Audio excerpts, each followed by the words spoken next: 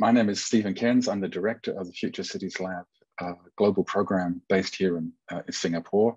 I work with a colleague who's based in Zurich by the name of Sacha Menz, um, and it's a great pleasure to welcome you uh, to this event. Uh, the title is Why a Smart City, in, in quotation marks, is more than 5G and AI, and it's uh, presented by Calum uh, Handforth from UNDP. Uh, before I introduce him, uh, let me tell you a little bit about the format of these seminars. Um, we invite our speakers to speak from around 30, 35 minutes, um, and we invite you to take part in discussion um, after that. Um, the discussion will be based around your questions, so please type them into the chat um, uh, format, and then I'll invite you to, uh, to, to, articulate those, those questions uh, live, and it allows you in a way a kind of voice, voice in the program. So thanks again. Um, Calum Handforth, for those of you who don't know him, uh, is advisor on smart cities, digitalization, and digital health at the UNDP Global Center for Technology, Innovation, and Sustainable Development. Um, maybe you don't know that, that, this, this particular kind of institutional framework, it's very important and relevant to us. There are a number of such global centers uh, around the world, and we're very uh, pleased to have one of them here in Singapore and uh, Calum is a, is a very energetic uh, figure in that in that organization, and we're very pleased to have that link. Um, we're working on a, on a letter of intent whereby we uh, think about uh, projects that, that are mutually interesting to us. Uh, this might even be one of those uh, one of those initial events, Calum, that we, that we, we promised we would do together. So I'm very pleased that you could join us. Calum has a background in epidemiology um, and development studies and politics. Um, and as you will hear, uh, is a really vibrant uh, uh voice um, and practical uh, and practitioner uh, around knowledge transfer, and knowledge exchange in the region. Um, and we're really delighted to have you here, Calum. So the floor is yours. Thanks, Stephen. That's a very generous introduction. Thank you, and a real pleasure to be here. Um, and just share my screen. Yeah. Uh, it says that I'm unable to share my screen. Do you mind giving me um, sharing privileges? Thank you. Ah, perfect, thanks.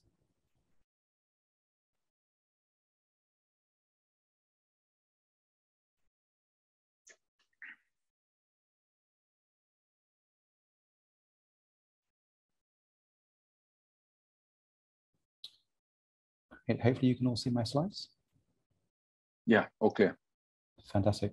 Um, again, thank you all for inviting me here. It's, it's a real pleasure and a real privilege. Um, as Stephen mentioned, uh, I do a lot of work in UNDP, the UN Development Programme, which I'll introduce in a moment, um, particularly around urbanization, um, but also its linkages with things like digital transformation, digital health, um, and beyond as well.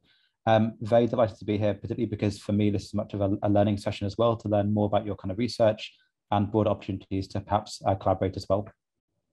So for the next 20, 25 minutes or so, I'm just going to walk you through um, our kind of thinking around what it means for a smart city in the context of development, hopefully moving beyond the 5G, the AI that's kind of dominated the sector for quite a long time. So just to start with, um, a quick introduction to UNDP. Um, so we're the United Nations Development Programme. We have country offices in about 170 country office, countries and territories around the world. Um, and here in Singapore, we have what we call a global center, the Global Center for Technology, innovation, and sustainable development.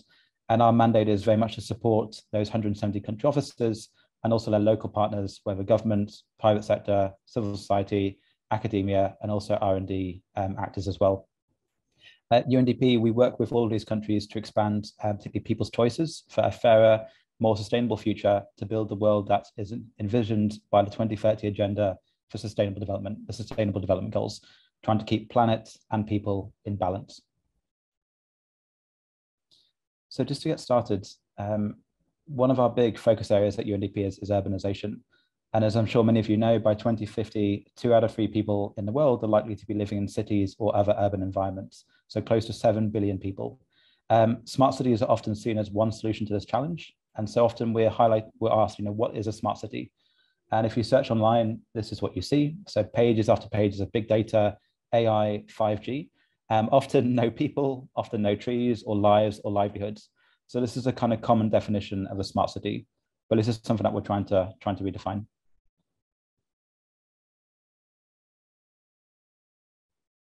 So often again, when we talk about the Sustainable Development Goals and smart cities, we often focus on SDG number 11, sustainable cities and communities. But for us, truly smart cities are drivers of, of every single sustainable development goal, from tackling poverty and inequality, so SDGs number one and 10, through to the potential of precision agriculture for urban agriculture, so SDG number two, and even supporting the biodiversity of cities, so SDG number 15. So then for us, what does it then mean for a truly smart city? For us, we start to broaden our definition beyond just the high tech. Um, we're trying to highlight that smart cities should be about how we use technology, but also innovation to make the urban environment more inclusive, more people-centered, livable, and also sustainable. So again, fundamentally, smart cities need to be about people. If we look at this definition, that means that Singapore using high-tech solutions is one example of a smart city. But also Curitiba in Brazil, which is home to the world's first bus rapid transit system, is also a smart city. Harare, the capital of Zimbabwe, is also a smart city. The example you can see on the screen here is the Eastgate Shopping Center, uh, it uses passive cooling to make the building environment comfortable, whether it's day or it's night. And this saves significant money and energy, particularly as Zimbabwe can experience considerable daily shifts in temperature. The Eastgate building was actually designed by a Zimbabwean-born architect uh, in 1996. And then there's also Kathmandu, with its network of electric taxis, many driven by female entrepreneurs, which have been in operation for more than two decades. Again, another model of a smart city. And then finally, return to Singapore again. Here, Singapore is using nature-based solutions to soak up and manage rainfall. Um, again, another definition of a smart city. And all these different typologies highlight why we urgently need to redefine the smart or the future city discourse. But again, why is this so important? Um, so what you can see on the screen here is a chart from UNDP's flagship Human Development Report. It shows a drop in the Human Development Index value, which is a global measure of economic and social development progress caused by COVID-19 for the first time in two decades, we're seeing global poverty start to increase. But COVID-19 has also given us a broader glimpse of what is coming, particularly in the context of climate change. So cities account for more than 70% of global CO2 emissions. They also consume over two thirds of the world's energy, but also 90, over 90% of all urban areas are located on the world's coasts, where they're at considerable risk of flooding. And more than $4 trillion worth of urban assets will be at risk from, uh, from climate change by 2030. And again, it's a truly global challenge. So for the rest of this talk, I just want to kind of walk through um, a few different ideas. Although COVID-19 is a glimpse of what is coming, it's also an opportunity for us to start to uh, start to change and also to start to shape uh, different processes and ways of thinking. And this change needs to extend to how we think about what makes a city smart. So for the rest of the talk, I'm going to share three things to think about um, and to prompt discussion. The first is an approach, um, the second are some broader thoughts that we've drawn from our work with cities around the world. Um, and the third is a very recent initiative that we've launched that may be relevant to many of you um, in your work. So first one is an approach, um, and the approach is on the screen here. It's a concept called donut economics. Um, the donut essentially consists of two rings, a social foundation, which you can see in green there, uh, to ensure essential needs are met, but also an ecological outer ring to stop us collectively overshooting the planetary boundaries that protect our world and our lives and our livelihoods. So the space between these two circles is a world that is both ecologically safe, but also socially just, a space where humanity can thrive. And we're seeing many and more and more cities around the world are starting to design their strategies, their plans, and their futures around the donut concept. Um, but a smart city really needs to be founded on the economic, environmental, and other qualities set out by this kind of approach. The donut is also accompanied by seven principles. I won't mention them all here and happy to share resources in the chat, but they include the importance of moving beyond GDP as a metric of success, but also the need to embrace complexity, systems, and the bigger picture in the urban context. And here are a few kind of broader thoughts. The first on the top left is the need that truly smart cities need to be agile and agile. So agile with a big A, but also agile with a small a. The big A is about agile project management and using that to inform inclusive and iterative public service development.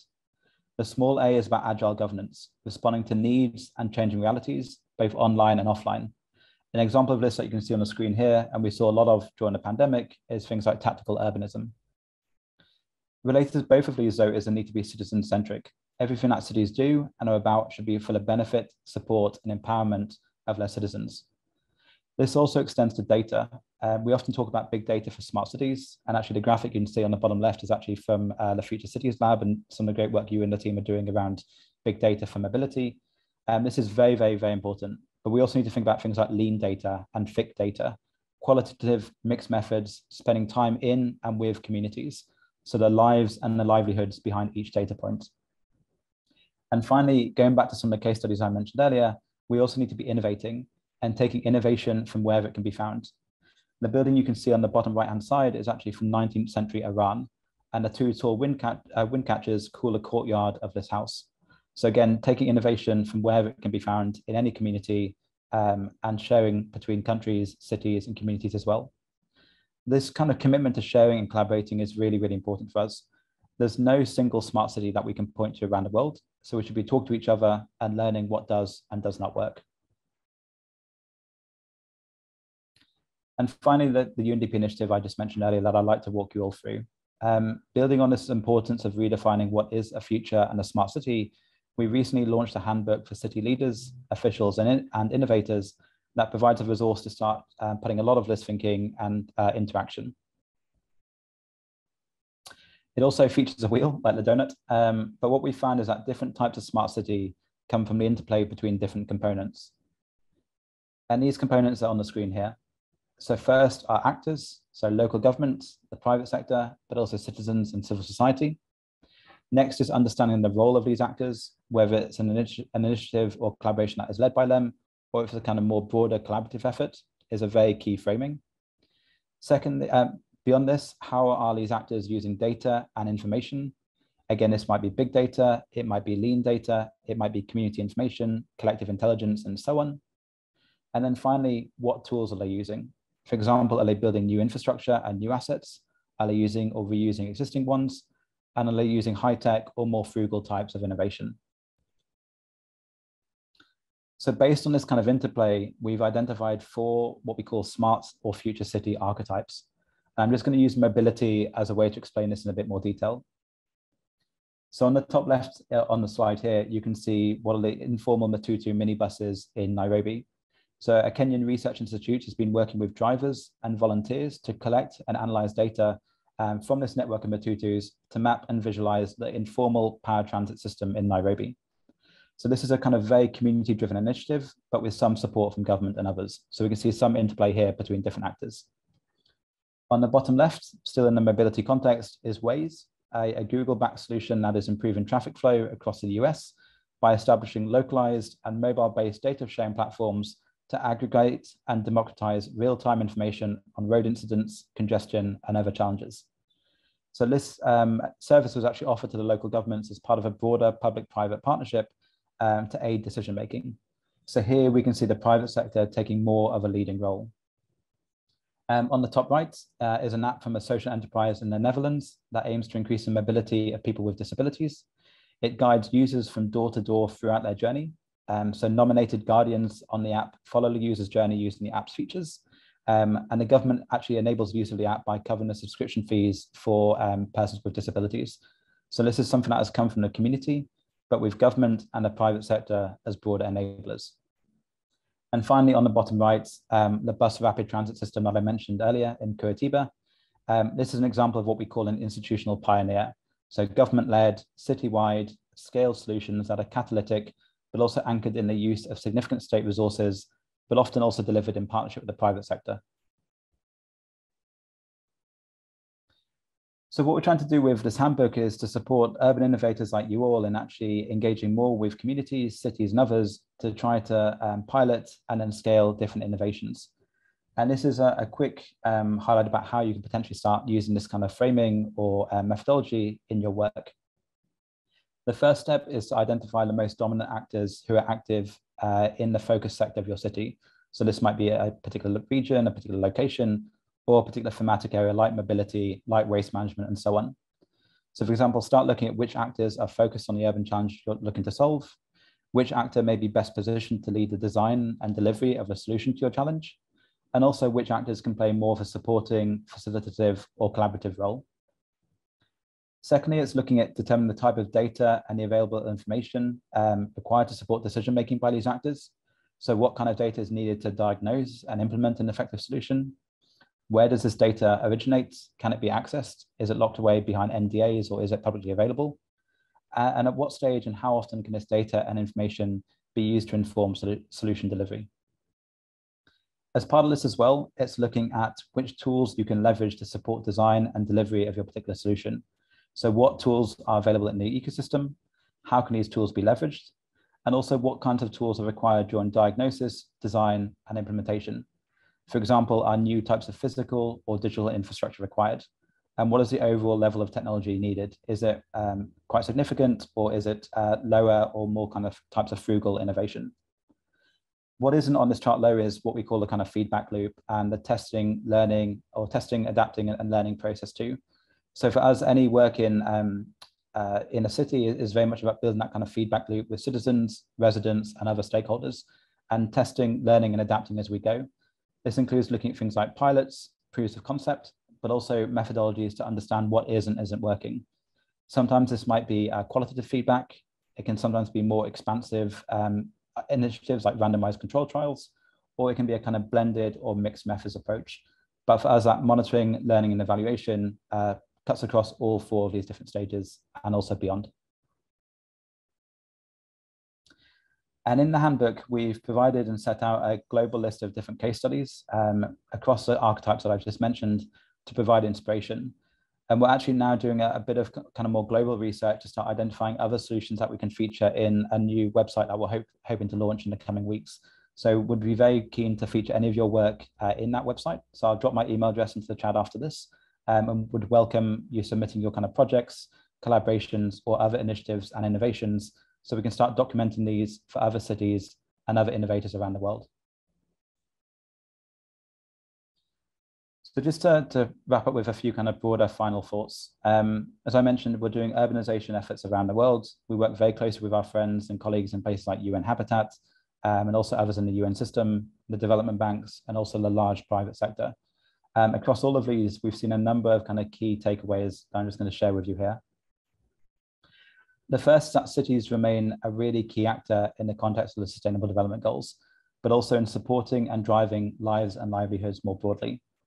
We see cities are the real drivers of development, from circular economies to maker spaces, but also the role of cities in providing and increasing opportunities um, for, for everyone.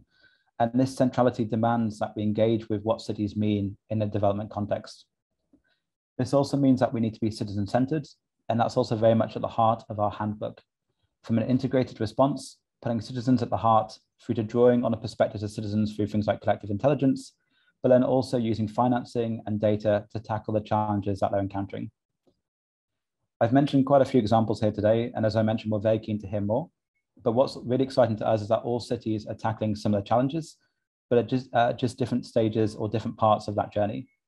So recognizing this, a point I mentioned earlier is that we need to be really sharing, really sharing and committing to learning and best practice, both to reduce duplication, but also to increase and accelerate success. The new website that I mentioned earlier is one step that we're taking here, but we also have our UNDP City to City Network, uh, which is another resource that cities use to connect with others and also to share um, innovations and projects and programs um, from their local, um, their local cities. And then finally, um, we need to be thinking more about smart cities, more about smart cities, but also fewer smart cities. As I mentioned, truly smart cities about more than just technology, but about leveraging innovation too, including things like nature-based solutions, but also need to be driven by the sustainable development goals. 5G and big data are important, but they themselves don't define a smart city. Um, for us and the cities that we work with, it's about how we use technology and innovation to shape more inclusive, livable, and sustainable urban environments that meet the needs, the expectations, and the realities of citizens, residents, and other stakeholders. And particularly in the countries and the cities that we're working in, um, this redefinition has a very real and practical importance. Um, often when we talk about a smart city, um, particularly in lower income set settings, um, city officials and mayors um, automatically almost disengage with the concept because they see a smart city as a, a linear pathway from where they are now to Singapore at the other end. And for us, that really misses the potential of technology and broader innovation in actually improving cities and urban lives and livelihoods. So I think it's really important for us to start redefining this concept of the smart city to make it truly globally relevant so that we can actually start engaging every city uh, in improving their urban environments and the lives of their residents. So I'll just stop there. Um, very happy to pick up anything in questions um, about our work, the work of our partners, but also very keen to hear from you all about innovations that we can perhaps start incorporating uh, in our handbook, uh, but also in our work more broadly. Thank you. Thanks very much, Calum.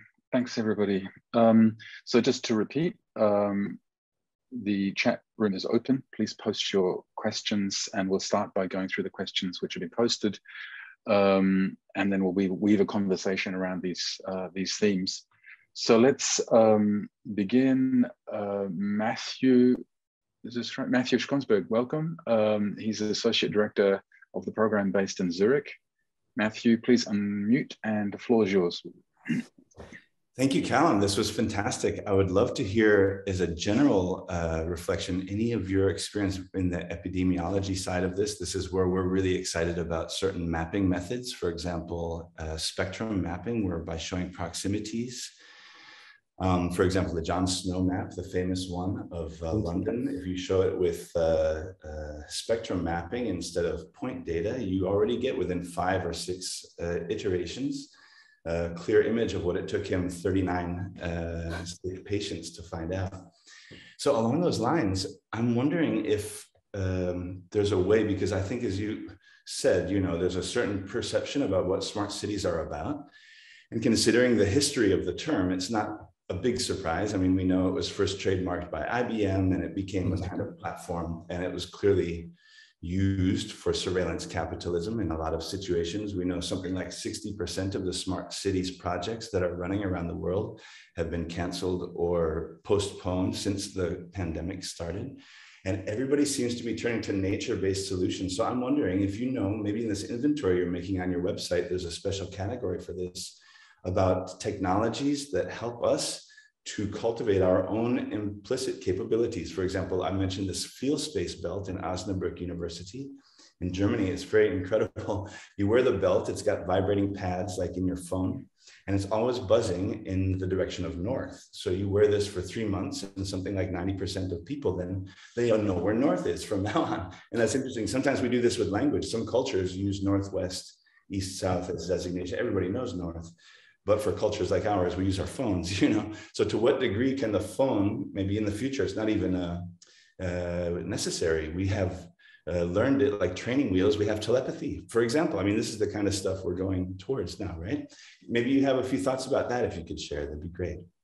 And there's, there's a lot to unpack there like very very interesting. Um, so for us um, there's a kind of risk of like tech determinism with a lot of the stuff that we see around smart cities. So ways to at least re-engage people with studies, I think is really exciting. Um, one initiative that actually got spun out from Sidewalk Labs um, and is actually now very different to Sidewalk Labs is um, called DTPR, Digital Transparency in the Public Realm. Um, what's quite cool about this is they're building a whole taxonomy around trying to engage citizens with actual smart city concepts. So every time you see, for example, it might be a, a sensor at traffic lights or a, a video camera, there'll be a QR code or similar that you can scan with your phone. It'll tell you who owns that data, the purpose for the data collection, when it's being stored, when it's being deleted. And so it tries to engage people because often when we talk about smart cities or they're deployed, they are very, very abstract concepts, like you mentioned with, with things like the belt and similar. At the other end of the scale, a lot of our work for the past two years, particularly through the Global Center here in Singapore, um, has been around kind of more locally driven supply chains. So things like 3D printing, maker spaces, and so on. And this is, is where I think things like the, the space, the feelSpace belt come, come out of um, they're new ways of building kind of more frugal, lower tech innovations that can actually be very, very exciting and very empowering for citizens as well. Um, for us, as a kind of broader piece there in terms of entrepreneurship development, because you're then building skills locally, you're building capacity locally as well.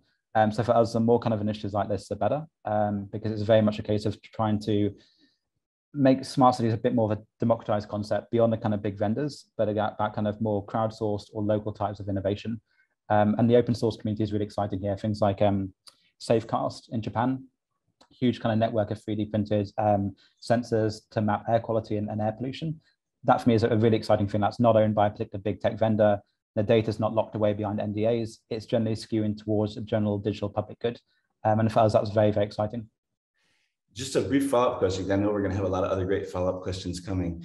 Why then, why not um, stick with the term that's usually used to describe what you're just talking about, that citizen science? Why try to call that smart city? Why not just let smart city go to the way of the dodo and just say what we're interested in is citizens, so it's cities and citizens.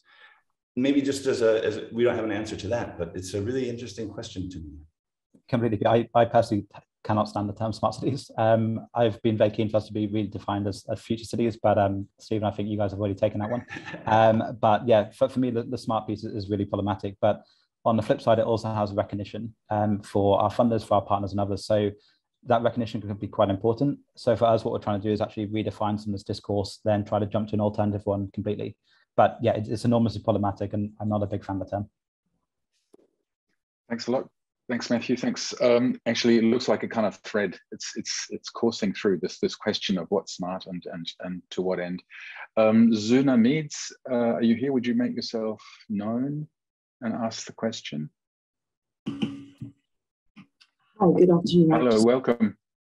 Welcome. Yeah, would you like to um, articulate your question, please? Um, I actually uh, did a program, and I've actually been in contact with you, Mr. Cairns, from our department regarding a visit to the Singapore laboratory. Um, I think there's a there's a a trend in our country that we also jumped onto the smart or the smart cities bandwagon um, as opposed to, and I'm actually quite pleased. I see a colleague of mine who works uh, with the Integrated Urban Development Framework for our country in the meeting. She might also want to add. We are currently in the process of developing what we're calling a smart region, the smart um, uh, Eastern Seaboard region. So I would like to, to just ask some questions on, on your thoughts on the concept of, of developing sort of polycentric, polycentristic cities in smart regions. And then also, uh, I think we would like to take you up on your offer to have some one on one discussions and sort of further deliberations on this concept as we are still very much in the conceptual stage and, and how we can really look at and the the area is is predominantly agriculture based. Uh, i'm sure you're sort of well aware of the history of our country so it is an area that's fairly underdeveloped and how we can we can really um, take all of these sort of conceptual um, ideas and really develop a, a firm um, framework for developing a smart region. Thank you. Zuna, would you just quickly remind us where you are? So it says that you're here in South Africa, but where, where are you based? I apologies. Yes, I'm in South Africa, and uh, I work for our National Department of Agriculture, Land Reform and Rural Development, and we are responsible for the uh, National Spatial Development Framework, which we are currently in the process of finalizing. And there's very specific, uh, what we call national spatial action areas defined around uh, urban innovation, um, scarcity of resources, um, looking at, at sort of a, a, multitude or a multifactor of components. But yes, that's what. Yeah, thanks a lot. Calum. Thanks, that's, that's a great point. Um, firstly, very happy to connect to our country office in, in South Africa um, for kind of follow-up conversations and, and we can be part of that as well. Um, but we do, actually a lot of our work is that kind of more regional or linkage area. Often when we try to work on smart city or, or urban projects um, in a capital city, it's, it's very, very difficult because of politics, legacy infrastructure and other elements as well. But when we get to secondary and tertiary cities, it's actually an enormous opportunity because these cities are very dynamic, very agile, and also have real sights on trying to become or, or even overtake their kind of capital counterparts. And so as part of that as well, that kind of smarter region component or the linkages between different cities um, for us is, is really exciting. Um, often as well, we talk a lot about migration from rural to urban areas. We don't talk about migration both ways or even migration between cities, but for different opportunities either. And again, that's something that we often look at as that kind of smarter region um, or broader concept too. Um, another point about the kind of smart city discourse, which I didn't get into too much, is redefining what smart means, but also redefining what a city means sometimes too. So for us, a city is not just your kind of urban concentration, it's informal settlements. It's often that kind of linkages with suburban or rural communities. And then if you look at things like agriculture and broader livelihoods, there's that kind of uh, commonality too. Um, what we are trying to do is also leverage the ecosystem here in Singapore, and the, F the laboratory is, is one of our big partners for that but also looking at things like vertical and urban farming. So Singapore's 30 by 30 initiative, which is um, 30% of um, self-sufficiency for food by 2030. Uh, and a lot of that work is about uh, vertical farming and urban farming, which could be quite valuable in the city, but also looking at countries like South Africa, where you have very strong uh, rural communities as well, trying to engage that as part of your kind of broader city plans. So I think for us, very happy to have a broader conversation. Um, we are doing some work in the region here and also across sub-Saharan Africa um, around linking different cities, um, both within countries and also uh, across borders too. I'll then drop my email in the chat while I remember as well. So um, feel free to drop me a line. I'll, I'll follow up. Thanks, Sonu. Yeah, we'll also be in touch. Uh, there's a great set of themes which are relevant, I think, to, to the work we're doing. Um, the next question is, in, is from uh, W. Ritter. Would you mind making yourself known? And it's a good one. It's also, it comes in the form of a quiz. Uh, could you give us some examples um, on SDG 16? So yes, yes, w. hello. Are you there? Yeah, I'm Hello. here. Yes, yes. Hello. Hi. Would you mind sorry. switching on switching on your uh, your camera? I can. Yeah. Okay. Sorry. Yeah. Hello. Yeah. Okay. Hi, so welcome. I have been yours. working. Sorry. The floor is yours, but you might you might have to remind us what SDG 16 is, or you, you could run a Okay. quick quiz if you like. Yeah, that's I have been doing a couple of um, joined a couple of UNESCO sessions on that just this goal. It's on the uh, governance, institutions, peace, and justice. And so it also um, because you mentioned the actors, but I think um, actors can only get involved in any kind of urban development if they are empowered. And that empowerment comes through um, well, some kind of um, governance or political system that allows citizens to take part. And in many emerging economies, but also in other countries, that is not at all the case. As you know, we um, think, uh, there are only like 40 countries that um, are kind of fully fledged democracies. So I think, um, I mean, having lived in Hong Kong for many years, um, I think um, there are really limits to participation. And how is that defined? And who defines that? So i think without addressing this power question um, this whole smart city involvement will not go very far. That's my uh, that's my i would like to know your perspective on this. Thank you very much Thank you. Um, so actually, before I joined UNDP, I did a lot of work around SDG 16, particularly around things like digital ID and, and national ID and, and local ID. It's a hugely um, fundamentally important sustainable development goal for, for cities. Um, when we talk about peace, justice, and, and strong institutions, um, I think there's a different, a number of different elements we can look at in the context of a smart city. Um, as you say, there's that kind of baseline level of engagement um, that comes often through the political or the participatory space, and we can look at different ways to that. So things like participatory budgeting is, is one element, um, but even building a baseline infrastructure for data collection from communities and providing spaces for voices to be heard as well. So um, we have a number of kind of open source initiatives across the world, things like Ushahidi, um, which have been very powerful across sub-Saharan Africa and trying to give citizens voice and empowerment uh, in city and, and other debates. Um, the second piece is also on the kind of more institutional side within cities. Um, and often cities are the closest actor for uh, to, to people and, and, their lives and livelihoods, um, but sometimes don't have the processes or the funding to actually make these processes happen. So that's where we also look to civil society and other partners to start building and, and shaping some of these pieces too. Um, very much recognizing that it's, it's very much a, a marathon and, and, not a sprint as well. Um, one element that I think is actually quite exciting, but is often underlooked, underlooked um, and underappreciated is around procurement. Um, it's not the most exciting topic, but actually it's a huge way to start engaging people in transparency of cities. So if you start building more open procurement systems in cities, um, this has quite a powerful multiplier effect. You get more SMEs engaged with actually building new solutions. Often these solutions are driven by the local needs and realities of the communities. So again, another element of engagement. And often it can drive cities to be more accountable and transparent in their actions as well. Um, so we know people like the Open Contracting Partnership very well, who are building these kind of infrastructures uh, in cities around the world and actually having quite exciting uh, and important elements too. Um, and then the third bit is actually also trying to just um, empower citizens wherever we can. Um, particularly in the digital context, this can include things like digital literacy, um, but also access to devices, to uh, services where they can actually make their voices heard. And as I mentioned earlier, that kind of feedback loop. So making sure that it's not just a kind of one-way dialogue, that cities are not just broadcasting out or citizens are not just sharing their thoughts, but actually trying to shape that dialogue as well. Um, but it does take time. Um, but personally for me, like SDG 16 is really, really fundamental for what smart cities should truly be. Thanks a lot. Um, just to let everybody know, um, the uh, please post uh, questions to the to the chat room. Um, Calum, I want to come back in a way to the, the question that, that we discussed earlier and the, the, the question of the smart city itself. I mean, one of the things that you do is so striking in a way is that you establish uh, the, obvious kind of cliche, of uh, which is widely held, so widely held. Uh, but then you give these wonderful examples of, of the BRT in Curitiba, Harare, uh, you mentioned uh, tantalizingly, uh, you know, um, grassroots taxi driver networks in Kathmandu. So one after the other, you in a way you undo the, the logic, um, or the, at least the cliche that we have of this of this idea.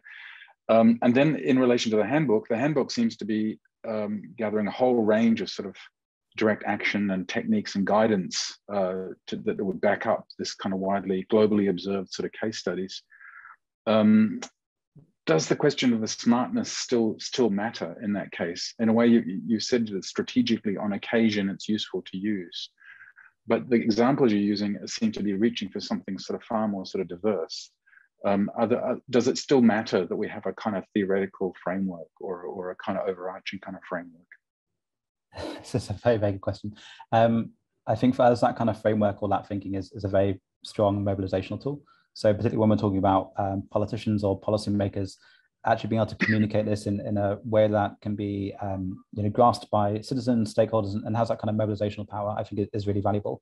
Something similar like the Sustainable Development Goals that these are these big targets, but what they're mm-hmm. doing is actually driving attention, direction, and mobilization behind them, um, as opposed to just talking more broadly about concepts like ending poverty or um, you know tackling climate change. We can actually disaggregate them and, and focus uh, attention and, and resource and, and, and focus behind them. So I think that's where the, the framing is still, for me, very valuable. I think staying with the word smart is also quite useful in terms of actually seeing that smartness is almost back to the dictionary definition about being clever with your resources, your assets, your um, population, your human capital, uh, and deploying them most effectively for your kind of local needs, your context, and, and your realities as well. So, and also back to the point we mentioned earlier that there is still the word smart cities isn't going away, sadly for me.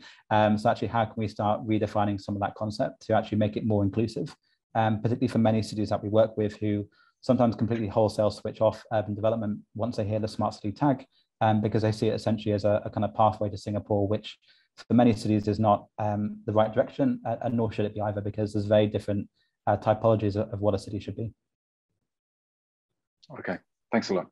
Um, Okay, now yes, hands hands raised also possible. Melissa, Melissa Permezel, floor is yours. Hi, thanks, Stephen. You might remember me from uh, Melbourne University. Yes, hello, um, nice to see you again. I haven't got my nickname up there as Moo, as you would know me. Um, and I'm, um, yes. look, thanks. This is, a, I'm really sorry I was late, but I'm just catching some of this discussion and it's great um, to hear Calum give his reflections from UNDP because we've been admiring all the work that they're doing. And I know my colleague Pontus connects with Calum, um, yeah, quite a bit. And I just think this is a really interesting question about this framework, Stephen, that sits behind it. And, and I guess we've we've really tried at UN Habitat because we have a smart cities program, uh, and we actually call it people-centered smart cities. So we always put that very clearly at the front and and I, I guess the framework that sits behind us clearly is the human rights uh, framework. Um, and and we we sort of and I think that's why we made a proactive decision to put in that people centered component to to um, our the way we have conceptualized smart cities um, and very much um, try and, and, and a bit like as Calum said, you've got to look at the participatory elements. We look spend a lot of time looking at this question of governance, and um, I know um, the question was raised before about power, um, and also the question of digital rights, and um, and and really the spatial element of cities, and looking at not only are there places uh, that get different treatments and infrastructure and, and access to, to sort of what might be considered smart. Uh, but also, of course, different identity groups experience that. So that it's really looking at trying to look at some of the nuances about around what's what's smart and smart for who and and and what my smart it might mm. not be your smart or my new york smart is my not might not be my nairobi smart but it's transformative in nairobi nevertheless so i think i think i think that sort of the framework behind it is really important um, and I think cities often just sort of dive in. My impression is I'm not as experienced as Calum in this, perhaps, but um, that cities dive into it without thinking through what what what is the drivers that we want behind it? What is the reality of our context? What are what are our governments that are pushing us um, to to um, take a certain direction or you know think think smart and link it to entrepreneurship but smart can come from cultural diversity or something like that. So i think it's a really great uh, question and important to to to think about it. Thanks. Mm. Thank you. Very much. Alan, do you want to react? Yeah, yeah, very much agree, Melissa. And, and actually, yeah, we, we very much have a, a, close partnership between UNDP and UN, UN Habitat. Um, and I think this this focus on technology as smart is, is part of the problem as well, because often if you're focusing on technology, then you become very solution led. Um, and so often half of our conversations are a country or city coming to us saying we want to use blockchain to do X, Y, Z. And our first question is, well, why blockchain? Um, and you dig into the detail, and often you don't need blockchain, you need policies, you need governance structures, mm. you need a functional database. Um, mm. And I mm. think if you we keep this kind of typology of, of smart being tech led, then we're going to continue being tech and solution led instead of looking at the underlying problem or mm. the culture or the context. And, and I think for me that that's very dangerous and very damaging. Uh, and I think is perhaps slightly validated by some of the, mm. the kind of more failed tech uh, heavy smart cities that we've seen around the world. Mm-hmm. Yeah, great. Thanks, Thanks Melissa. And I mean, Stephen, it's lovely sorry, to have my these. Chat, my chat says disabled. I don't know if that's for other people. Mm. Okay, if it is, please just raise your hand. Um, we would be happy to yeah, keep the conversation going. Yeah, nice great. to see you again, Melissa. Um, uh, we are fascinated by the fact that we have somebody from UNDP and UN Habitat talking around the common theme. So we'd love to, in a way, think a bit more perhaps on another occasion about the institutional frameworks. I think that's absolutely fascinating. And Melissa, thanks for these additional uh, sort of qualifications, if you like. You know, the smart of New York, which is not the smart or may not may overlap with this, the smart of Nairobi and so on. So I think it, these are very helpful kind of terms for, for, for all of us who are grappling with the universal sort of claims, if you like, of smart cities. So thanks again. Um, Matthew, floor is yours again.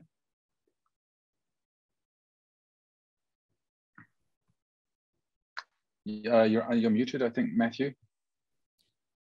It's really thrilling. You see, I'm so excited. It's thrilling to hear this conversation. It's very interesting because we've been living through, in our discipline as architecture design world, a kind of reinvention. Every five years or so, a new qualifier will be added to urbanism. So we have landscape urbanism and infrastructure urbanism. It's interesting because none of those words are necessary. If you take the word landscape from the 20th century or 19th century, it already has infrastructure and landscape is the basic. Ecology and infrastructure is landscape, basically. So this is really interesting about the terms. Now, the SDGs, it's not commonly understood, but in fact, they're economic indicators. So there's a sort of bias in the assessment of SDGs. So let's think about for just a second. Where does the terminology come from for our discourse? So MIT now has a fantastic center they call a Civic Design Data Lab. And that's very exciting because civic design was, in fact, the theme. That was all of the things we're talking about. This was called civic design in the 19th century. Siegfried Giedion, this great Swiss architect, was teaching at MIT back in 53, and he was asked by Rockefeller Foundation to stop talking about civic design with its focus on ecology and community. They had a new agenda for him with some new funding. It's called urban design and uh, it was a kind of rebranding of colonialism you can say because basically they had it wasn't a bad intention but it was very opportunistic. Okay so this is where we're going is how do we behave when we know you know mit also has the other side. I don't want to hold up mit as some exemplar. They have the new center for advanced urbanism. And you know it's mastercard center for advanced urbanism. They funded it and that's their name. So we have capital you know surveillance capitalism is a reality for us so this is really interesting what terms we use. And I just would really be interested, especially as I hear the, the, the UN people speaking here and having worked with the UN and knowing that there's some, a lot of really dedicated people, how the terminology affects the discourse is so crucial. completely agree. Um, I might answer that actually in collaboration with another question from, from Gilberto around ISO standards too, because I think there's, there's an interesting linkage here. Um, so on the ISO standard piece, we are, many of our friends and partners are working and around ISO standards and implementing the, the one around smart cities. And it's often very valuable for um, cities to actually have that kind of uh, taxonomy or structure to start going down this pathway. This is not in relation to this standard in particular, but more broadly when we talk about standards behind technology and, and others, is that um, often they're defined by those whose voices are in the room, um, or they're defined by the voices or the terminology that has become established in, in that discourse. And actually, a lot of our work at the Global Center is actually how do we start broadening a lot of these platforms and collaborations. So, for example, when we talk about things like AI or 5G, a lot of research for these tools and technologies is led by a handful of universities, often led in the global north, um, whereas actually the entirety of the global south is kind of cut out from these conversations. So then there's a kind of real issue that a lot of these technologies will become not necessarily imposed on these countries, but the countries could become test beds or trials for testing data sets, testing technologies. So again, there's, there's elements of exploitation there, but also fundamentally that these tools and approaches could be very valuable for these places, but actually there's no uh, contextualization or sensitization to them either. So for us, that's, that's kind of part of this broader discourse, actually, how do we unpack what these tools mean and, and these terminologies and, and where they come from? Um, but also how do we make the dialogue truly kind of globally relevant as well to make sure that we're using the right terms and making them as inclusive as possible. Um, but then the other extended list as well is that um, we are one voice in the space, obviously UN Habitat as well. We have many voices across the UN system. We, we, can't do this without partners in the private sector, academia and others as well. So how do we also start building um, broader movements and broader discussions around this too? Um, and I think Melissa's dichotomy, the New York Nairobi piece is, is very important in terms of how we frame this. Um, because for us, it's, it's, a truly kind of global conversation that needs to happen. Um, Melissa, I'll let you jump in as well because we're talking a lot to you and your team about this too. Oh, just quickly, Stephen, if I may, and, and thank you, Matthew, for that question. I, I, just wanted to say that what I find interesting, um, being not not not, I'm pretty new to the smart city um, arena, and I find it some a little bit. There are quite a lot of tech people, so that sort of question of how it's framed and constructed and the sort of language it's used.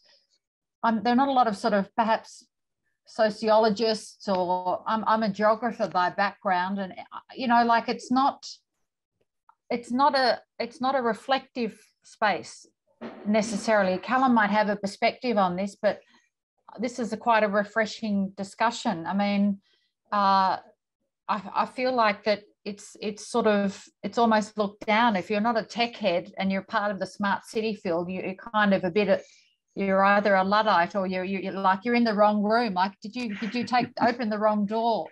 And i think that's a pity because then there's not this very um, important critical lens to say how this can be leveraged but also what are the you know what are those power dynamics going on? Just because it's tech doesn't mean it's neutral. Who is in the city? Who has access to it and who doesn't? So i think the more people that the sort of discussions that we have and and people that are involved that are from a range of sectors which to me uh, from the innovation unit perspective that we work in is really important the better. But it's interesting that i find it is a very kind of techie um, ict type um, dominated arena. And and for those of us that that are self-confessed not like that uh, uh it's interesting because i tend to come in with these other questions. So it's an interesting area. Thank you. Good. Completely agree on that as well. And and for me as well, even when we do technology, we focus on the solution um, too much as well. For us, often the technology, even if you're looking at you know emerging tech like 5G, AI, the tech is a comparatively easy bit. The harder bit is the behavior change, whether in individuals, in communities, in institutions, to start embracing these solutions, whether technology or more broadly. And often that's a failure on our part in terms of the kind of broader community because we're not spending time in communities, we're not learning the kind of needs, the realities, the aspirations, and we're not looking actually what solutions are often most relevant there either. For me, there's a bit of a tragedy also in a kind of broader civic tech space um, that a lot of it is defined by apps on phones and, and so on. And that's not a failure of innovators. I think that's a failure of the kind of broader community that we're not potentially providing spaces or funding or opportunities for things like ethnography, um, elements like policy or governance or other structures often when we talk about civic tech, it's apps um, or it's mobile solutions or other kind of high tech pieces. Um, there's a huge potential for a more flourishing uh, civic tech space, in my, my opinion, too. Mm. Super, thank you. Um, Gilberto I, Velasquez, uh, I overlooked your question, so apologies. Um, if you're still here, would you make yourself known and ask the question? Hello, Gilberto. In a way, Calum, you've in a way you already alluded to this question earlier, but I'd like to hear, give Gilberto a chance to kind of respond, to ask it. Okay, he's still here, I think. Or, um, so let, let's wait. Um, any other questions, any other comments, thoughts that haven't been expressed so far? Other themes? How about some of the the the, um, the so-called techies? Uh, I know many colleagues would be uh, on the on the technical side, um, uh, but they're all in a way, in my experience at least, uh, sensitive to the questions, the sort of more critical questions that have been raised. Is there somebody um, on that side sorry to name names, uh, but Peter Hertogs, I notice, is here. Peter, would you mind um, giving us your perspective on, on this work? I mean, the work that you're doing, I think, is, is relevant, I think, to, to Calum's discussion.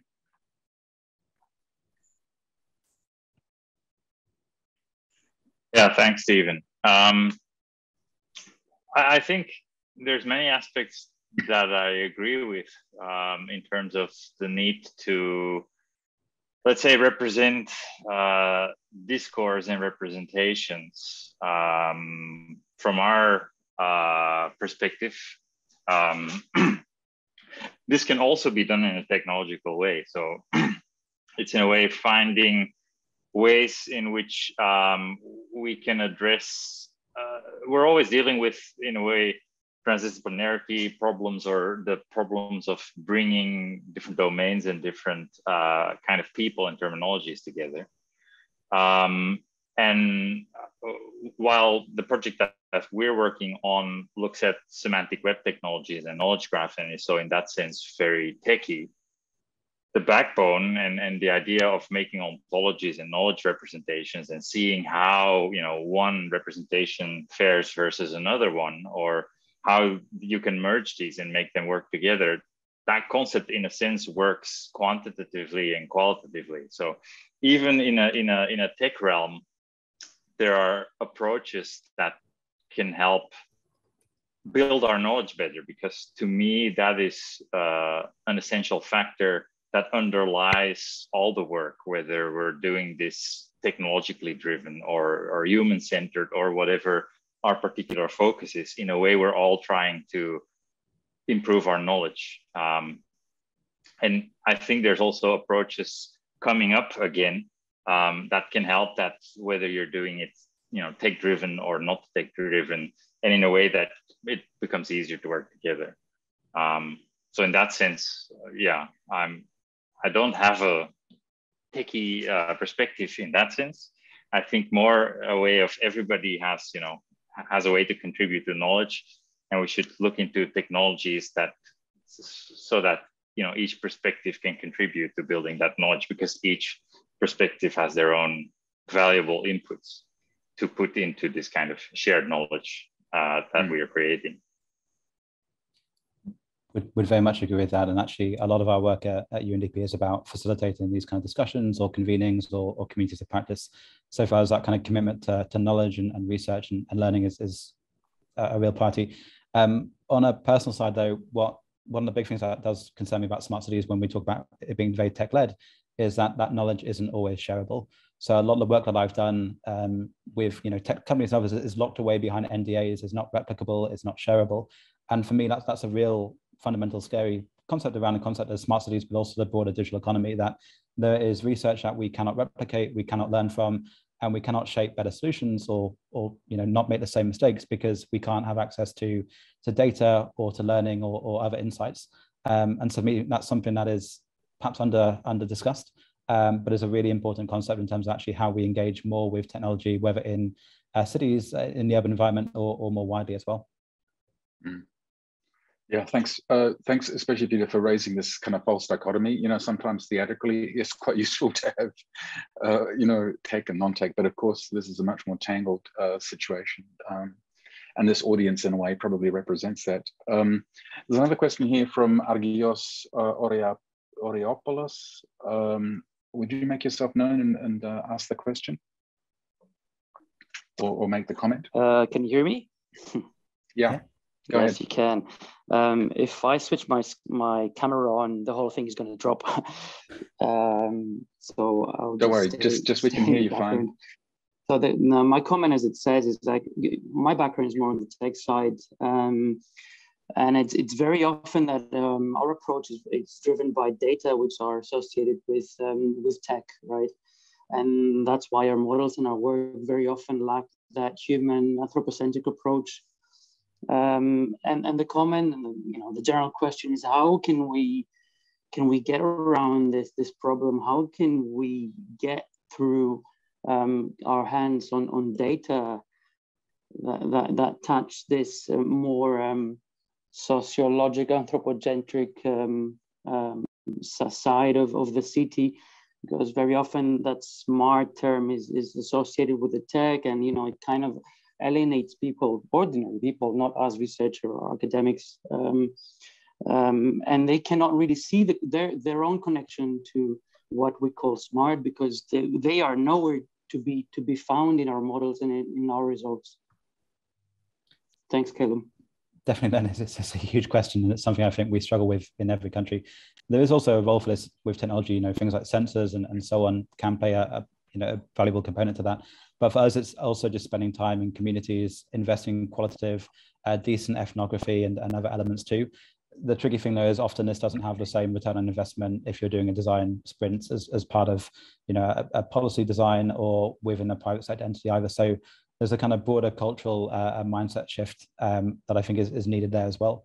Um, but for us, yeah, there's definitely a kind of real need that we see here um, in terms of actually doing this doing this well and even at the data that we collect, even if it is um, collected through technology, to make sure it's as representative as, as possible. Um, we talk a lot and actually push quite a lot in UNDP for what we call digital public goods. Um, a lot of the time, these are things like um, software applications that are open sourced for cities or other innovators to use to kind of accelerate digital development. But then there's also kind of, I think, a broader discussion about what could be digital public goods in the context of a city. Um, there's actually a really exciting project now being funded by the, the Mozilla Foundation and also the Gates Foundation um, where they're trying to create um, machine learning training set data sets for local and dialect languages across Africa, because often so much of this stuff is underrepresented. So even when we, when we talk about high tech and high data and, and big data, it's about making sure this stuff is representative and actually founded on the communities where we're working as well. Um, so I think that's part of this kind of broader uh, digital public good approach that I think could actually benefit from that kind of broader discussion about actually what makes a, a digital public good. Mm. Thanks a lot. I think um, we're almost out of time, so I, it just allows me a moment just to say thank you, uh, Calum. Thanks for being um, a great speaker, uh, drawing on such wonderful resources, and also being a generous, uh, open, open with your contacts. I'll give everybody a moment to, to maybe catch some of these. There's some wonderful links, yeah, uh, including the handbook, the UNDP handbook, which has been posted. So please take a, no a moment to, to catch those um, you'll hear more, you, will be able to see the kind of YouTube recording of this and go back to some of Calum's slides as well.